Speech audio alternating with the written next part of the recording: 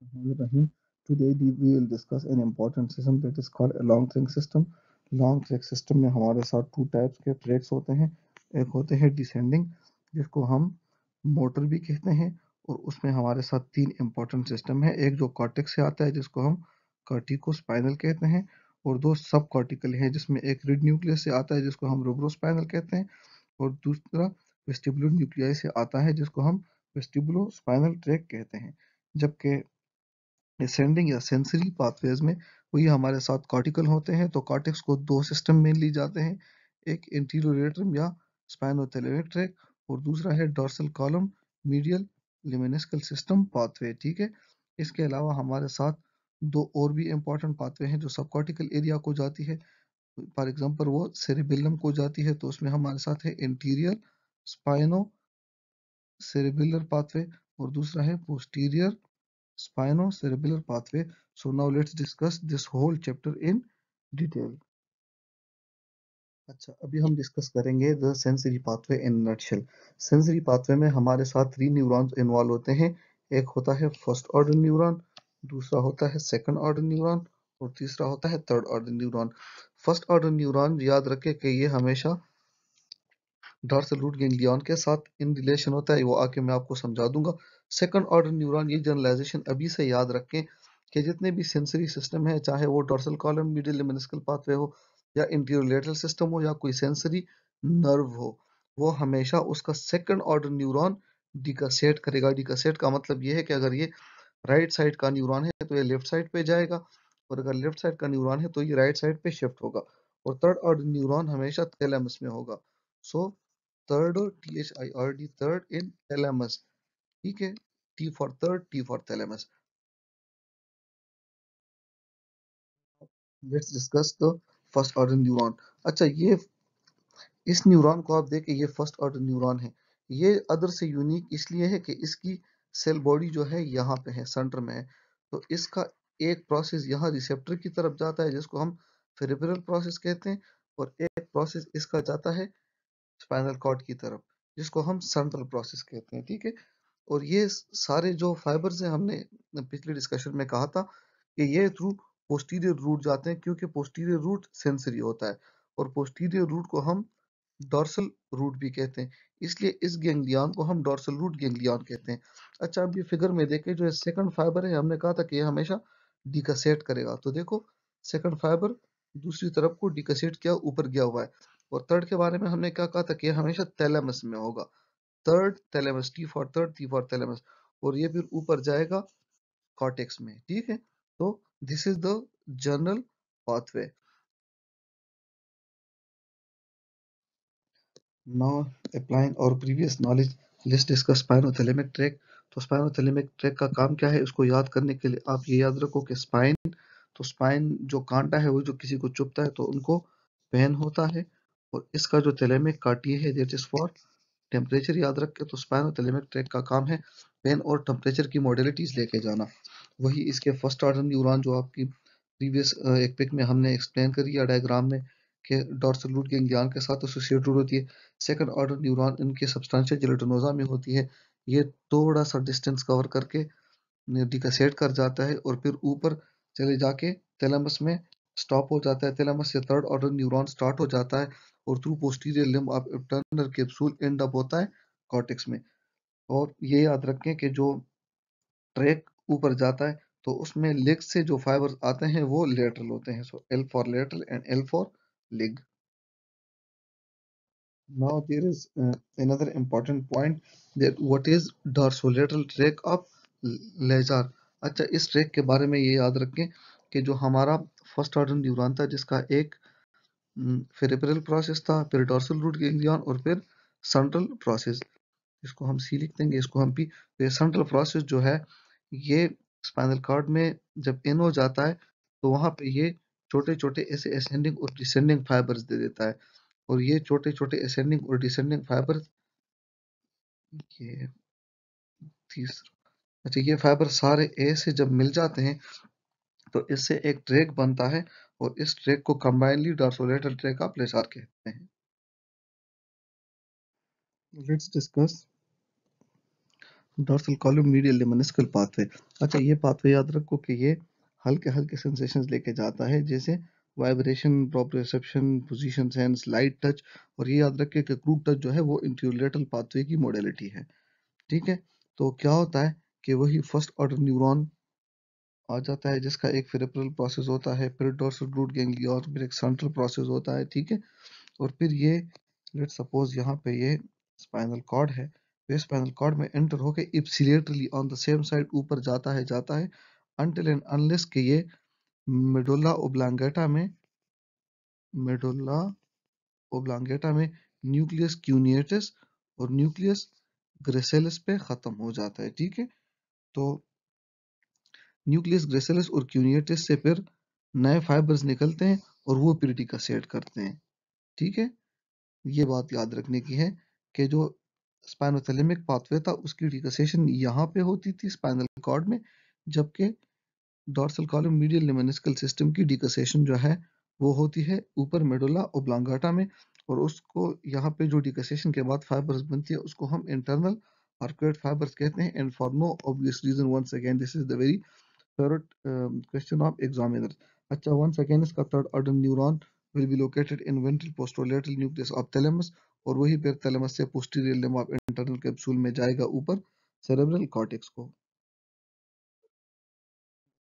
We'll discuss the last visceral pathway visceral pathway वो है जो thorax और गट एब्डोमेन में जितने भी विसरा हैं, उनके सेंसेशन थ्रू स्पाइनल कॉर्ड ऊपर लेके जाती है। तो वंस अगेन इसका first order neuron first order neuron posterior root dorsal root ganglion के through posterior root of spinal cord से स्पाइनल कॉर्ड में एंटर हो जाता है। फिर वंस अगेन सिमिलर फ़ैशन में सेकंड ऑर्डर न्यूरॉन के साथ तो मिल जाता है second order neuron in the same very fashion अगर राइट साइड से निकला है तो लेफ़्ट साइड की तरफ़ डिकसेट करेगा और अगर लेफ़्ट से निकला है तो राइट साइड की तरफ़ डिकसेट करेगा और थैलेमस में एंड अप होगा थैलेमस में थर्ड ऑर्डर न्यूरॉन स्टार्ट हो जाएगा। Specifically in the ventral posterior nucleus of thalamus और फिर ऊपर जाएगा through posterior limb of internal capsule to the cerebral cortex pathways पढ़ी तो वो ऊपर जाके खत्म होती थी सेरेब्रल कॉर्टेक्स पे। अभी हम दो इंपॉर्टेंट पाथवेज पढ़ेंगे, एक है इंटीरियर स्पाइनोसेरेबुलर पाथवे और दूसरा है पोस्टीरियर स्पाइनोसेरेबुलर पाथवे और ये पाथवेज जो है instead of cerebral cortex, it will end up in cerebellum that is why these are cerebellar tract so now first discuss interior. अच्छा इंटीरियर में यहाँ पे मैं गरीब सा मसल बना देता हूँ और ये उसका गोल्जी टेंडन ऑर्गन है, ठीक है? ये वाला। अच्छा इससे आएगा peripheral process once again the same first order neuron फिर इसका होगा डॉल्स रूट गैंग्लियन फिर होगा इसका सेंट्रल प्रोसेस और हमें पता है कि central process to posterior root जो कि सेंसरी है आ, उससे आएगा स्पाइनल कॉर्ड में। अच्छा यहाँ पे ये बात याद रखने की है कि बाकी सिस्टम जो हमने पढ़े उसमें तीन न्यूरॉन्स इन्वॉल्व होते थे इसमें सिर्फ़ दो न्यूरॉन्स इन्वॉल्व होंगे। तो ये सेकंड न्यूरॉन यहाँ से स्टार्ट हो जाएगा ठीक है? और एज यूजुअल ये सेकंड न्यूरॉन है तो सेकंड न्यूरॉन डिकसेट करेगा टू द अदर साइड और फिर अदर साइड पे ऊपर जाएगा। लेकिन याद रखें कि सेरेबेलम के न्यूरॉन्स में ये मसला है कि ये कहीं पे भी जाए ये वापस अपनी मतलब ओरिजिनल साइड पे आएँगे तो ये वापस डिकसेट करेगा at the level of superior peduncle या सुपीरियर सेरेबुलर पीडंकल ठीक है? और वापस आ जाएगा सेरेबेलम में। ये मैं गरीब सा सेरेबेलम बना देता हूँ, ठीक है? तो होप कि आप लोगों को अभी एंटीरियर स्पाइनोथैलेमिक ट्रैक में कोई कंफ्यूजन नहीं है कि ये गोल्जी टेंडन ऑर्गन या स्टिच रिसेप्टर से शुरू हुआ, ठीक है? इसका फ़र्स्ट ऑर्डर न्यूरॉन यहाँ पे खत्म हो गया। Through posterior root spinal cord में आ गया और यहाँ पे खत्म हो गया। सेकंड जो शुरू हुआ तो उसने पहले डिकसेशन की, फिर ऊपर गया, लेकिन फिर वापस डिकसेशन की और थ्रू सुपीरियर सेरेबुलर पीडंकल वापस आ गया सेरेबेलम में। Now I will change the colour और पोस्टीरियर स्पाइनो सेरेबुलर ट्रैक भी इसके साथ साथ बना देते अच्छा पोस्टीरियर भी वही टू न्यूरॉन से बना होता है। फ़र्स्ट न्यूरॉन ऐसे आ जाता है, ठीक है, ये डॉर्सल रूट गैंग्लियन ये इसका सेंट्रल प्रोसेस और यहाँ पे खत्म हो जाता है। अच्छा जब सेकंड न्यूरॉन यहाँ से निकलेगा तो सेकंड न्यूरॉन क्या करेगा? सेकंड न्यूरॉन इसका डिकसेशन कोई नहीं करता। बस सिंपली यहाँ से ऊपर चला जाता है, ठीक है? और mainly through inferior cerebral peduncle क्योंकि सुपीरियर तो ऑलरेडी इंटीरियर ने ऑक्यूपाई किया हुआ है so through inferior cerebral peduncle cerebellum में चला जाता है।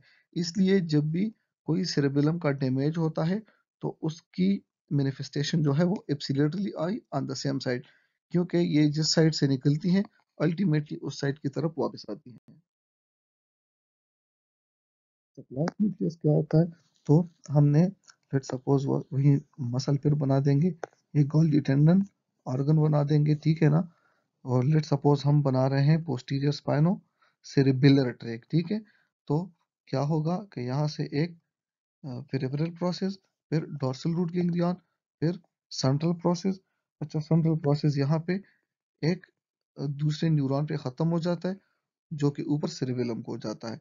अच्छा दूसरे न्यूरॉन जो है सेकंड न्यूरॉन ये जितने भी सेकंड न्यूरॉन है, इन सब की सेल बॉडीज जब मिलती है तो वो सॉलिड सेल बॉडीज मिला के एक न्यूक्लियस बनाती है, क्योंकि recollection of cell bodies inside the CNS is nucleus और इस न्यूक्लियस को हम क्लॉक न्यूक्लियस कहते हैं। पाथवेज तो हमने पढ़ ली, जिसमें न्यूरॉन ऊपर की तरफ़ जाता था, अब है डिसेंडिंग पाथवे जिसमें कॉर्टेक्स से न्यूरॉन होके नीचे आएगा। तो इसमें तीन की जगह दो न्यूरॉन यूज़ होते हैं, ठीक है? एक को हम जो अपर मोटर न्यूरॉन और दूसरे को हम lower motor neuron so let suppose ये सेरेब्रल कॉर्टेक्स से इससे जो फ़र्स्ट न्यूरॉन आ गया, इसको हम कहते हैं अपर मोटर न्यूरॉन इस न्यूरॉन के बारे में याद रखें कि ये मेडुला में जब पायरामिड पे पहुँच जाता है तो वहाँ पे ये अपोजिट साइड को डिकसेट करता है, ठीक है? और फिर नीचे आता है।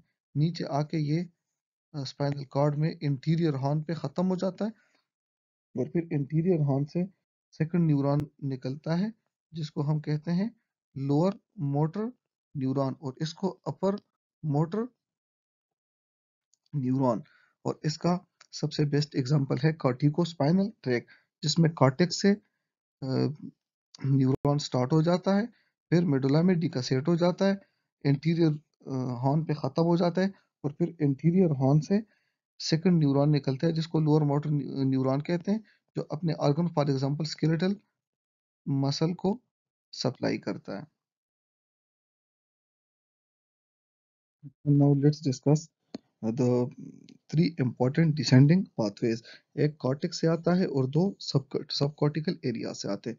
कॉर्टेक्स से जो आता है वो कॉर्टिको स्पाइनल ट्रैक है वंस अगेन हमने कहा कि ये लेट सपोज़ कॉर्टेक्स है तो इससे एक फाइबर शुरू हो जाता है, जिसको हम अपर मोटर न्यूरॉन कहते हैं। ये मेडुला में डिकासेट हो जाता है, फिर नीचे पहुँच आता है। स्पाइनल कॉर्ड के इंटीरियर हॉर्न पे इंटीरियर हॉर्न से हमारे साथ सेकंड न्यूरॉन निकलता है, जो कि लोअर मोटर न्यूरॉन को होता है, और जो effector organ for example skeletal muscle पे पहुँच जाता है। ठीक है? अच्छा याद रखिए कि 90 परसेंट ऑफ़ द फाइबर जो है, वो यहाँ पे डिकसेट करती है, जबकि 10 परसेंट यहाँ पे आके फिर यहाँ डिकसेट करती है। नीचे at the level of spinal cord अच्छा रूब्रो स्पाइनल ट्रैक में ये बात याद रखें कि ये वो अच्छा जो कॉर्टिको स्पाइनल ट्रैक है, इसका काम है highly skilled volitional movement of limbs जो होते हैं, वो करना। तो रूब्रोस्पाइनल ये फैसिलिटेट फ्लेक्सर मसल मतलब हम जब बैठते हैं तो हम रूब्रोस्पाइनल ट्रैक की वजह से बैठते हैं। इसमें भी जो रिड न्यूक्लियस है, उससे फाइबर निकलता है, डिकसेट हो जाता है, इंटीरियर हॉर्न पे ख़त्म हो जाता है, इंटीरियर हॉर्न से आगे सेकंड या लोअर मोटर न्यूरॉन निकलता है। अच्छा वेस्टिबुलर ट्रैक जो है, ये लिटिल डिफरेंट इस वजह से है कि इसमें कोई डिकसेशन नहीं होती। फॉर एग्जांपल राइट साइड पे ट्रैक शुरू हो गया वेस्टिबुलर न्यूक्लियाई से तो ये राइट साइड पे ही ख़त्म होगा, ये डिकसेशन नहीं करेगा। With this, we conclude this topic. Thank you so much.